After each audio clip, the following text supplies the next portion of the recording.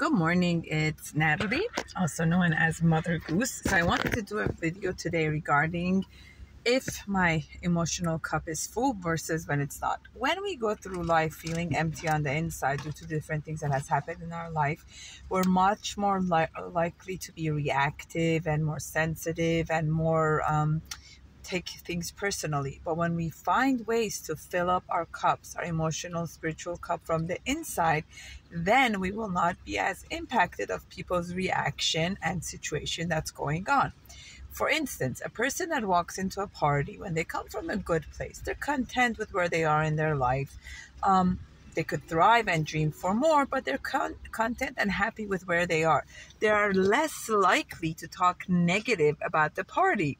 I don't know why they did this. I don't know why they brought that. I don't know why this and that. But when you are coming from an insecure place and a lack, you are much more likely to criticize what you saw instead of giving compliments. So when you notice yourself getting frustrated more with your spouse, with your children, take a moment and look within you and see where is your emotional spiritual cup holding.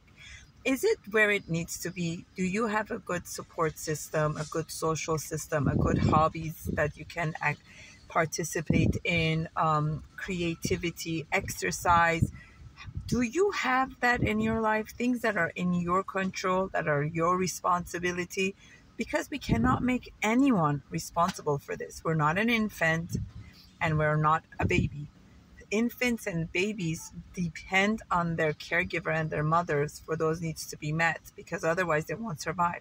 But when you become an adult, you transition that and you're available to create that connection with your inner self and the higher power. And that's where the completeness and wholeness comes. And instead of going through life with madness and demand, you go through it with wholeness and connectivity.